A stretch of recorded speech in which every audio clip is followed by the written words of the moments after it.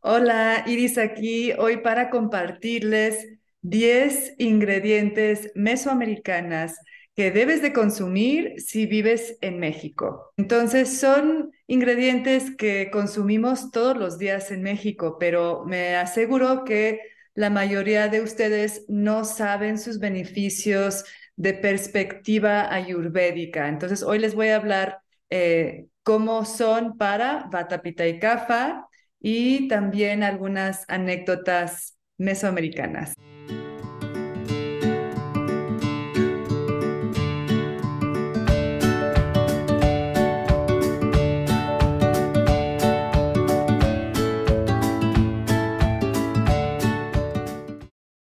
Obviamente vamos a comenzar con el maíz porque no hay país sin el maíz. Ya sabemos que este ingrediente es central en toda la cocina mexicana, es eh, muy saludable de perspectiva ayurvédica específica a cada constitución. Entonces hay que tomar en cuenta esta larga historia de amor que tiene el maíz con los mesoamericanos, con diferentes personas de origen de este continente, como son eh, los náhuatl, el maya y muchas otras comunidades. El cuerpo se seca al comer el maíz, es resecante el maíz. Entonces, eh, es muy buena comida para las constituciones húmedas, que en el ayurveda sabemos que son los pitas y los kafas. Los que somos constituciones secas, como somos los batas, nos puede ayudar combinar el maíz con ghee. Ghee es un alimento eh, medicinal en la ayurveda y cuando le ponemos ghee esto nos puede equilibrar al consumir eh, este, esta deliciosa comida. También el maíz nos incrementa la energía solar al comerlo también es específico para el trabajo físico y eh, levemente calienta el cuerpo por, tener esta energía solar. Entonces, em, pueden consumirlo con cilantro si son una constitución caliente, como son los pitas. Y el maíz forma parte de la famosa milpa, también hay que consumir nopal. El nopal tiene eh, millones de beneficios y propiedades medicinales. Y de perspectiva ayurvédica, también yo digo que es eh, tridóxico porque para los kafas ayuda a regular sus niveles de azúcar, que siempre están batallando con eso, eh, y por, esto, por esta razón también es excelente, eh, una excelente opción para los diabéticos o prediabéticos. También nos ayuda a equilibrar el acidez para las constituciones pitas que batallan con el reflujo, el acidez. Em, y para los batas aporta mucha fibra y es laxante, entonces ayuda a esa tendencia que tienen las constituciones batas de estreñirse también al consumir mucho nopal nos hace hermosa la piel y el cabello y las uñas. Em, en la mitología mesoamericana, su fruto representaba el energético corazón humano con todas sus emociones complejas. Entonces también hay que consumir lo que llamamos la, la tuna, que es el fruto, solo que no hay que masticar los huesos, esos se tragan enteros Número tres, la calabaza. En el Ayurveda sabemos que todo tipo de calabaza, no solo la calabacita eh, verde que, que, pueden ver aquí en la ilustración, sino todos los tipos de calabaza como son el calabaza eh, moscada, la calabaza de Castilla, entre muchos otros tipos, nos ayudan a fortalecer algo que se llama el ollas, que es como nuestro contenedor energético. Y también en Mesoamérica, realmente eh, la calabaza fue la primera planta que se cultivó. Eh, y en el mundo en general, eh, la mayoría de las especies que se encuentran originalmente fueron domesticadas primero en México. Entonces hay que consumir eh, mucha calabaza, pero incluyendo todas las otras partes de la calabaza, como son las semillas, que les llamamos las pepitas, que son ricas en eh, zinc, entonces nos ayuda eh, el sistema inmunológico, también ayuda a la próstata y las flores de calabaza también son deliciosas, tradicionales de los guisados mexicanos. Vamos a comer más calabaza. Frijol. El frijol es eh, indispensable para todos los que eh, tenemos una dieta a base de plantas, o sea, vegetarianos o veganos. el frijol nos aporta mucho hierro, fibra, proteína y los frijoles mongo son los frijoles con más propiedades medicinales y son los que son eh, los más fáciles para digerir. Eh, son los eh, frijoles ayurvédicos, los frijoles mongos. Aquí está en el dibujo. Si no los conocen, son como de color verde, como ovulados, o si están partidos, están, son de color amarillo. Son los mismos. A veces se llama el mung dal, que es como se llama en la India. Em, algunas especias de frijol datan hasta 6.000 años de antigüedad y algunas especias también aportan eh, otros beneficios. El frijol también es parte de la milpa. Número 5, el amaranto. El amaranto es muy importante en la historia mesoamericana. De hecho, representaba hasta el 80 ciento de la ingresa calórica de los náhuatl, o sea, de, la gente mexica que estaba en la parte central de México. Y este ingrediente de perspectiva ayurvédica es antiinflamatoria y también tiene una propiedad específica para bajar inflamación a los ojos, para las personas que tienen los ojos rojos, inflamados, secos. Comer más amaranto ayuda mucho a los ojos.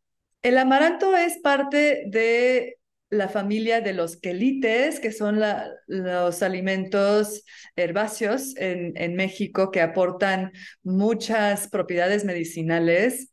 Es diurético, es laxante, ayuda a limpiar la sangre, equilibra la sobreproducción de bilis y ayuda a descongestionar constituciones con tendencia a crear muchas flemas. Pero podemos agregar amaranto a las tortitas de vegetales, a las sopas, a, las enchiladas, a, lo que rellenamos las nuestras enchiladas, podemos ponerle amaranto. O también a los licuados se puede poner amaranto. Se puede usar de, muchas formas y nos aporta mucha proteína, mucho hierro, nos, nos da más energía. El aguacate. Creo que todos sabemos que el aguacate aporta muchas propiedades medicinales y benéficas para la salud. Eh, también es un fuente de grasas, y nutrición muy importantes para los veganos y vegetarianos, solo que si no vivimos cerca de donde se cultiva el aguacate, realmente no debemos de exagerar su consumo porque no es sostenible. Debemos de eh, tomar en cuenta que si vivimos en México, está bien, estamos consumiendo aguacate porque mucho aguacate se cultiva acá, pero si vivimos en otro lugar, es mejor que el aguacate sea algo de vez en cuando. Nos ayuda a nutrir el hígado, los pulmones y la piel. Nos fortalece los músculos, la sangre, tiene un alto contenido de hierro, de calcio y magnesio. Y todo el mundo siempre habla de los plátanos que tienen mucho potasio, pero el aguacate tiene más potasio. El cilantro, esa hierba humilde que tomamos por sentado, realmente es un excelente, excelente digestivo para Vata, Pitta y Kapha. No importa qué constitución eres, el cilantro te va a ayudar eh, regular tu digestión. Es desintoxicante, es antiinflamatorio, ayuda a regular eh, los azúcares como también lo hace el nopal que vimos antes. También es antibacterial, y ayuda a regular las hormonas.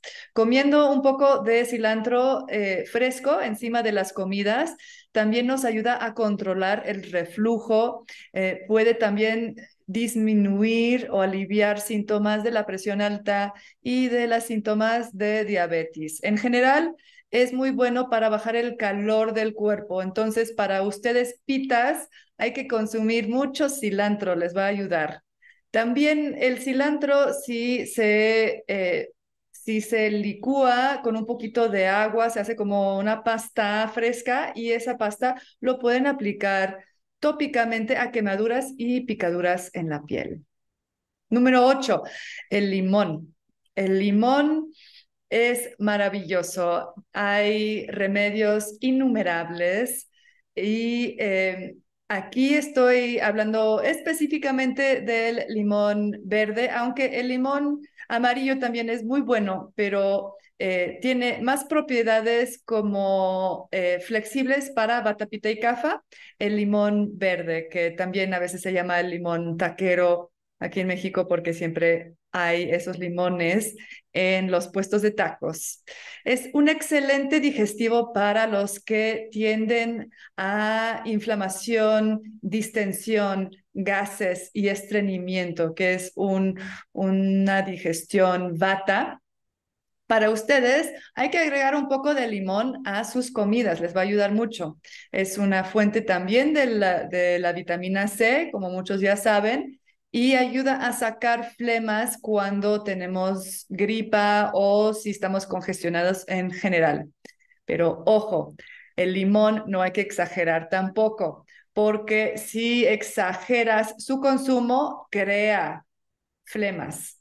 Si lo comes en moderación, te ayuda a sacar flemas, pero si le vas a poner muchísimo limón a todo, que a veces en la cocina mexicana se hace, luego eh, vas a notar que tienes mucha flema. Poniendo un poquito de gotitas de limón a, nuestra agua nos ayuda a aliviar la sed. Eh, esto también ayuda a, refrescar el cuerpo en clima caluroso. El limón es desintoxicante y es laxante. El cacao.